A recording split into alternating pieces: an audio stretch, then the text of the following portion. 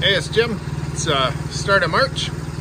Snow all night. Just wanted to say uh, thanks for being here. If you haven't liked and subscribed yet, please do that. We uh, haven't run the snow thrower for quite a while now, but uh, before I do, so it's been sitting outside.